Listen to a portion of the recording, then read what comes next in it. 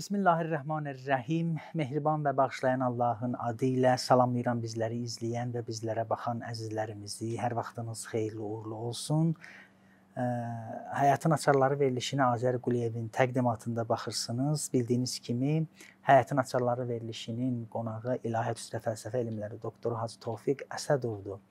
Və biz çalışırıq hər bir verilişdə həyatın açarlarından söhbət açaq. Əgər yadınızda olsa, ötən verilişdə neyniyək şad olaq, neyniyək pozitiv olaq və başqalarına da bu şadlığımızı, bu sevincimizi ötürə bilək və əziz ustadımız bu barədə bizə gözəl söhbətlər elədi, maraqlı məqamlara toxundu.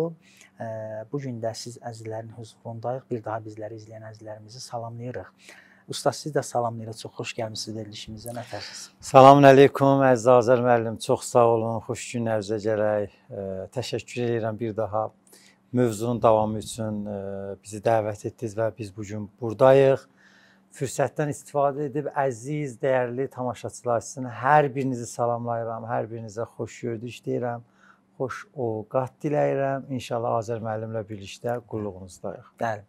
Necə edək, şad olaq, necə ed edək, pozitiv olaq və səhv eləmirəmsə ötən verilişdə siz İmam Sadiq əleyhissalamdan gözəl bir hədis oxudunuz və İmam Sadiq əleyhissalam o gözəl hədisində buyurur ki, 10 şey insanı şad edər, insanı xoşhal eləyər. Buyurur söz sizdədir. Yol getmək kimi, ətir vurmaq kimi, gözəl insanlıqla ünsiyyətdə olmaq kimi səhv eləmirəmsə. Bəli, bəli. Bismillahirrahmanirrahim. Bağışlayan və mehriban Allahın adı ilə Azər müəllim yerində xatırlatdınız. Biz İmam Sadiq əleyhissalamdan hədis oxuduq. 10 şey insan halın yaxşı ilə keyfin düzəldər.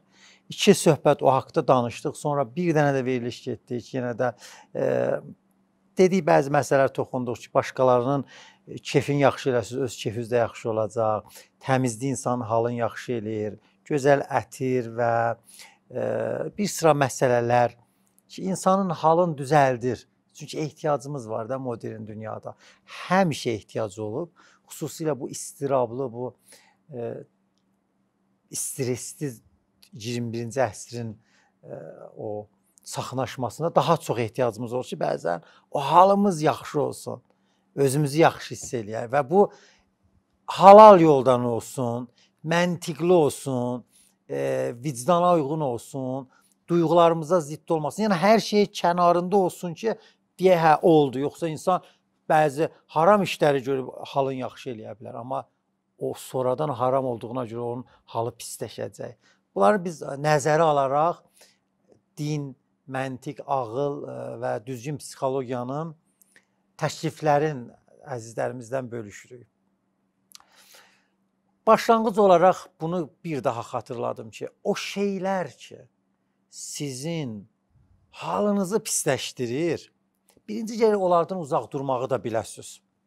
Siz nə qədər halınız yaxşı olsa, əgər bilirsiniz ki, bəzi şeylər sizin ya bəzi kəslər indi ola bilər bəzi vaxtlar, bəzi yerlər, bəzi məkanlar sizin halınızı pis eləyirsə, siz gərək ondan uzaq qalasınız. Yəni bu ə, ana qaydalardan biridir. Tutaq ki, siz özünüzə yaxşı paltar almısınız, bəyənirsiniz, halınız yaxşıdır.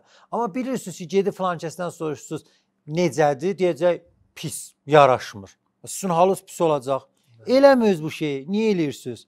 Yəni bilə-bilə ki, sizin halınızı kimsə pis eləyir, ya eləyə bilər, ya hər hansısa bir yerdə olacaqsan, bilirsən e, o yerdə olsun halın pis olacaq. Getmə. Mən filan kino hər baxanda özümü 2 gün yaxşı hiss eləmirəm. Baxma. Bəzi şeylərə məcbur deyilik ki biz. Yəni bu ana qayda olaraq bunu bilməliyik. Sənin halı pis eləyən yerlərdən, kəslərdən uzaq qal. Əlbəttə, bəzən e, insan halının pis olmağa ehtiyacı var. Məsələn, bir dənə ə, e, hətta bir hadisədir, sən baxırsan halın pis olur, amma buna baxmalısan, bilməlisən, vicdan işidir. Halın pis olmalıdır ki, gedib kömək eləməlisən. Halın pis olmalıdır ki, bu məsələyə qarşı etirazı bildirməlisən. Onlar istisnalardır. Mən onlardan danışmıram. Bizim mövzumuz konkret olaraq məlumdur, həyatın açarlarıdır. Yəni ümumi qaydalar ki, həyatda dərdimizə dəyər. Deməli ana qayda bu gün verilişin əvvəlində deyirəm. Haluzu pis eləyən nə varsa, kim varsa, ya hansı zaman, məkan onlardan çalışın, məsafəli gəzin. Üstad bəzi hədislərimizdə var. Məsələn, bəzi şeylər ə, insanın insana qəm gətirir, insana kədər gətirir. Bunun əksini insan eləsə, insan nə olar? Şad olar. Bəli. Halı yaxşı olar. Məsələn, səhv eləmirəmsə İmam Hüseyn əleyhissalamdan da əgər hədisi düz desəm, "Ər-rəğbətü fid-dunya turisul qəmmə vəl-huzn." Bəli, bəli. Dünyaya İmam Sadiq meyllilik. əleyhissalamdan da. Bəli. Dünyaya meyilli olmaq, rəğbətli olmaq insanda qəm yaradır, kədər yaradır. kədər yaradır. Yəni insan əgər dünyaya bağlı olmasa, heç qəm çəkməz, Bəli, üzündə olmaz. Yəni bəli. əksinə halı yaxşı olar. Axirət dünyası xeyrun və əbqa həmişədir, qalıcıdır, daha xeyirlidir. Gözəl buyurdunuz. Azər müəllim, ə, yekinəsək həyat insanı yorur. Məsələn, hətta deyirlər əgər iş işvə gedirsənsə, 2 dənə yol varsa, arada yoluvu dəyiş. Elə həmişə eyni yoldan getmə. Hı -hı. Görürsən bəzən biz özümüzə bir dənə həyat çizirik. Gündəlik. İşə, evdən işə, işdən evə, evdə də məlum nə edəcəyik. Gün orta gəlir, misal olaraq yatırıq, dururuq. Sonra ondan sonra müəyyən iş var, onu görürük. Yenə axşam o yatırıq, dururuq. Bu yeknəsəkdə, yəni heç bir dəyişiklik olmadan eyni eyni formada, eyni Bəli. tərzdə olan ə, yaşam tərzi çox yorucu olur adi bir kiçik dəyişiklik belə görürsən sən əhvalı yaxşı eləyər. Onu elə. Məsələn, xanımlar görürsən ki, evdə məsələn bir mizin yerini dəyişirlər. Öz halları yaxşı olur. Uşaqlar gəlir, "Ha, Hə. nə yaxşı oldu, mizi oradan çəkdiniz, ora qoydunuz." Kişi gəlir, "Hə, bax belə də yaxşıdır ya ev." Bir dənə mizin yerini dəyişməkdən görsən insan halı dəyişə bilir, halı düzələ bilir. Siz elə bu miz misalını tutun. Çox şeylər var ki, həyatımızda o qədər qalıb və o yeknəsək şəkildə heç bir dəyişiklik olmadan ruhumuz bezib, ürəyimiz tutulub, bir dəyişikliyə ehtiyacımız var.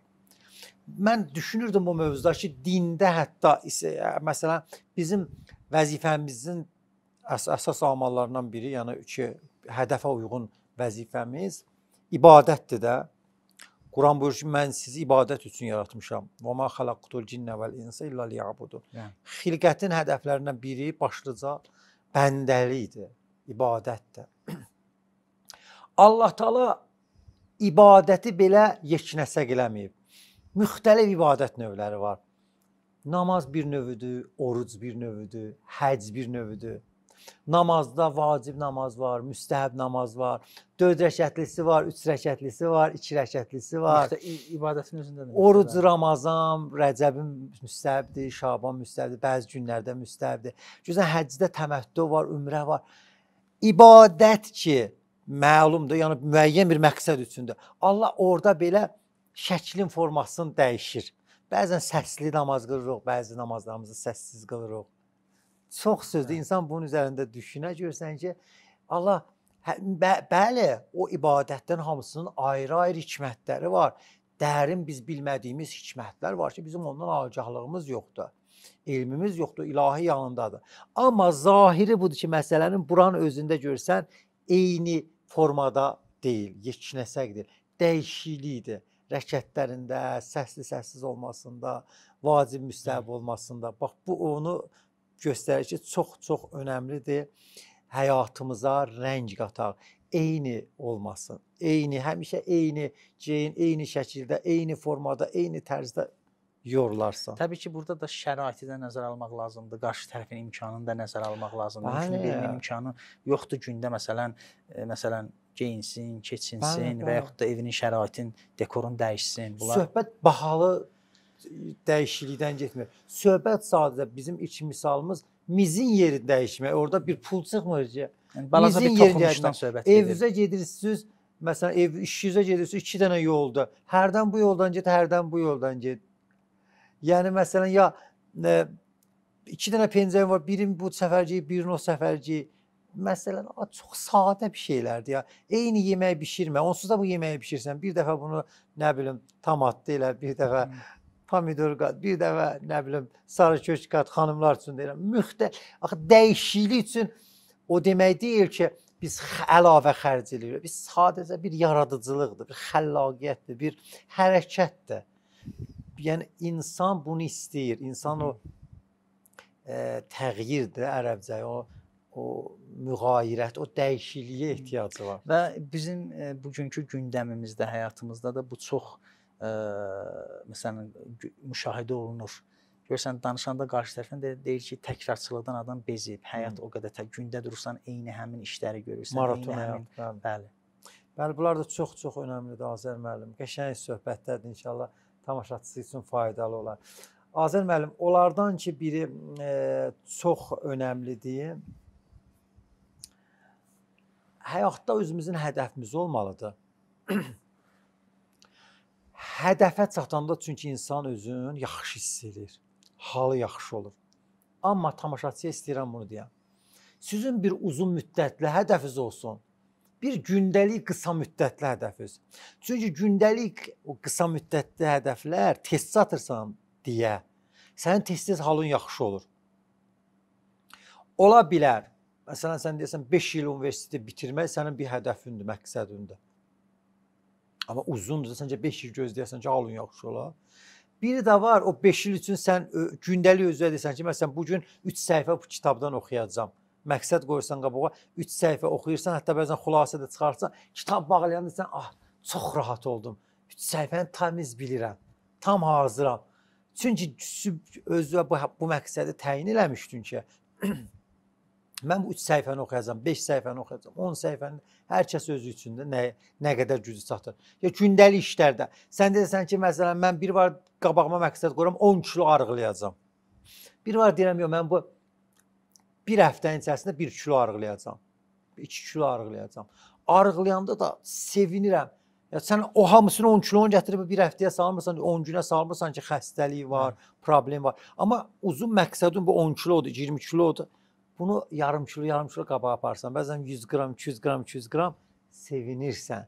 O qısa müddətli hədəflər insana çox kömək olur. Çünki dopamin tez-tez tərəşüh eləyir də beyin sırayışı var. Sən hər məqsədə çatanda o beyində dopamin hormonu sırayış edir. O səni rahatladır, səni sevindirir, şad Çox gözəl. Çox sağ olun sizə təşəkkür edirəm. Əziz dostlar, dəyərli tamaşaçılar, qısa bir fasiləmiz var həmişə olduğu kimi. Fasilə bizləri Həyətin Açarları verilişi davam edir. İlahiyyat üzrə fəlsəfə elmləri doktoru Hacı Tofiq bizim qonağımızdır. Nə edək, şad olaq, halımız, ruhiyyəmiz yaxşı olsun. Bu barədə söhbət edirik və ustadımız çox gözəl nüanslara, məqamlara toxunur bugünkü verilişdə. Deməli söz varsa bu barədə yenə buyurun söz. Davam eləyirik Azər müəllim. Halımızı necə yaxşı eləyək? Əhvalımız necə yaxşı olsun inşallah. Azər müəllim, bir dənə hədislərimizdə termin var, muanəqə. Yəni qucaqlaşmaq 10 maddəsindən də boyun. Bəli. Muanəqə yəni boynun bir-birinə dəyməsi, insanlar yəni qucaqlaşma. Bəli, qucaqlaşırlar. Biz gördük buna nə qədər ehtiyacımız var. Korona gələndə, koronavirusu gələndə insanlar hətta əl görüşmürdülər. O ki qalmışdı qucaqlaşsınlar. Əl görüşmürdülər ki, virus ola bilər. Və o insanlar uzun müddətli görsən e, halların pis elədiyi, kədərə, qüssəyə saldı. Hətta bəziləri depressiyaya düşdülər. Qucaqlaşmaq, yəni bir insan öz əzizin görəndə, biri indi səfərdən gəlib, biri ya elə ailəsindən görüşür, ya dostu ilə, qardaşı ilə, xanımlar öz arasında, kişilər öz arasında, ya məhrəmlər əl verib qucaqlayanda bir-birlərini orada oksitosin hormonu beyində o zaman daha çox sirayiş edir o qucaqlaşanda. O insan halını çox yaxşı eləyir. Hədislərimizdə var, möminlər bir-birini görəndə salamlaşıb bir-birlərindən bir-birinin bağrına basmaq, möminlər bir-birinin bağrına basanda günahları bağışlanır.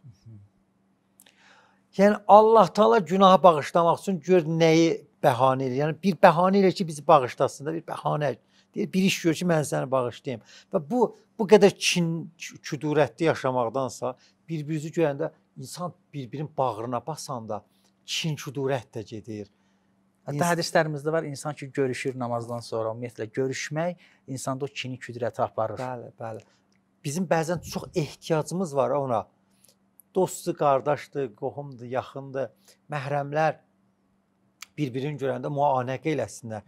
Çox tövsiyə olub hədislərimizdə. Çünki insan insanla görüşəndə mümkündür küslü olanma görüşür. Elə ki görüşür o küslü özü bir növ günah sayılır İslamda. Bəli, Elə o, deyilmi? bəli, bəli, O bəli. kini, küdrəti, qəzəbi, hirsi aradan aparır. Bəli, deyir o ilk barışan hətta cənnətə ilk girən olar.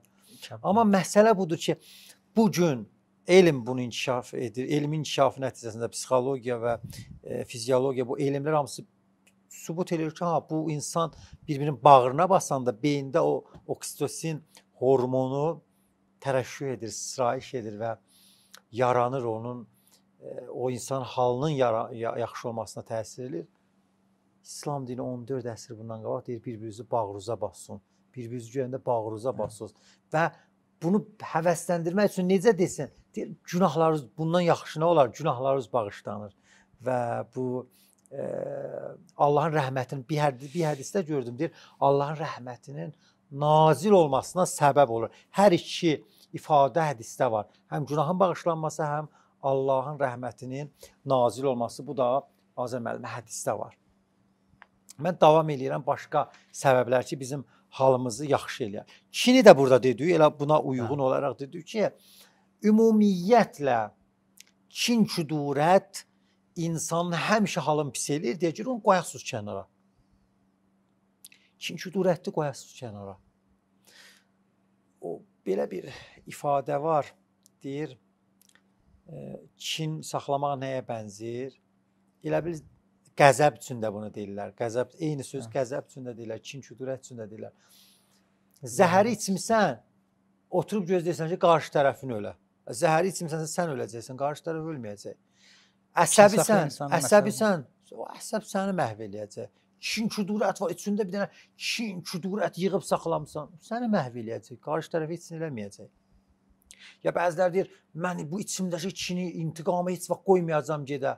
Elə bir bıçaq vurublar qarnına kimisə, tutub əlində saxlayır, deyir, mən bunu həmişə saxlayacağam ki, yadımdan çıxmasın. Hə. O bıçaq səni öldürəcək, məhv eləyəcək. 2 saatdan sonra eləsə, o gəl həkim onu çıxarda. Ruhi məsələlər da biraz gecə özün göstərir deyə biz onu hiss eləmirik. Cisimdə belə də bıçaq vuran kimi 2 saat, 3 saat qalsa ölərsən, də o tez çıxa həkim vasitəsilə çıxardalar səni müalicə eləyərlər. Çünki qüdrətdə isə biz bunu düşünmürük. Qoy qəlbimdə onun qalsın deyir onun kini. Çıxart, bağışla getsin, özünü rahat elə. Demirəm get təzədən güvən, demirəm get təzədən nə bilim ondan oturdur. Amma da unut getsin də. Bu kin küdurət səni qoymaz halın yaxşı ola. Qoymaz kefin yaxşı ola. İmam Hüseyn əleyhissalamdan da məşhur hədisdə ki, mən neçə dəfə oxumuşam. Buyurur: "İnne şiatana men salimet qulubuhum min kulli ğişşin və ğillin və dəğəl." Onlardan birisi deyir, bizim tərəfdarlarımız, bizi sevənlər şiələrin qəlbi ondan pak, pak olar, sağlam olar, kindir. Deyir bizim tərəfdarlarımızın ürəyində kin olmaz. Küdurət olmaz. Və bu görürsən ki, nə qədər önəmlidir. Yəni ana qaydalardan biridir ki, halın yaxşı olmağını istəsən, bir- birinci yerə bunlardan özü paşlaşdırasan. Azər müəllim, o şeylərdən ki, insanın halını həmişə yaxşı eləyə bilər, ya olmasa insan halı pis olar. İnsan gəlir zamanında, vaxtında, həmin ləhzədə, anda yaşamağı bilsin. Deyirlər anda yaşamaq. Rəvaqilər özü bir dənə qədim fəlsəfi məktəbdir. Onların bir sözü vardı İbnül Vəqt. İbnül Vəqt olmaq, yəni vaxtın övladı. Yəni bugünkü modern dil, dildə deyirlər anu yaşa, anda yaşa. İmam əleyhissalamdan gözəl bu hədisdə var ki, deyir o ki keçib o ki keçib keçib deyir o e, mazidə qaldı deyir. Yəni o keçən də keçdi, keçənin başını burax. Gələcək də ki imam buyurur məlumdur. İmam Əli əleyhissalam buyurur ha. Və vaqtuka muxtənəm. İndi qənimət say. Qənimət Hazırda ki, bax bunu indiki var, o bax bunu qənimət say. Keçən keçib, gələcək də məlum deyil. Bunu məsələn biz fəlsəfi məktəblərdə, rəvaqilərdə İbnül Vəqt olaraq görüb vaxtın övladı. Bu gün modern psixologiyada lə anu yaşa deyirlər. Amma bir şey unutmayacaq. O da budur ki, anu yaşa, əvvəla halal yaşa, ikinci Allah istəyən kimi yaşa, üçüncü sənə ki deyirlər, keçən keçib Quran buyurur. e, Tilka ümmətun qad xələt. Keçən ümmət keçdi. Amma həmin Quran buyurur ki, ibrət alacaqsan ha. Sən bu deməkdir ki, nə eləmisən, əşhədə o oldu, getdi. Yox, ibrət al. Həm özündən, həm başqalarından. Amma da ilişim qalma keçmişdə. İbrət al, bu günü yaşa. Gələcəyin üçün də planın olsun. Bu demək deyil ki, elə necə gəldi? Yox, gələcək planlı yaşa. E, sənin özün gələcək üçün amalın olmalıdır, perspektivin olmalıdır. E, hədəfin olmalıdır, ona uyğun proqram düşməlisən, amma bilməlisən ki, gələcək Allahın əlindədir. Naməlum bir şeydir.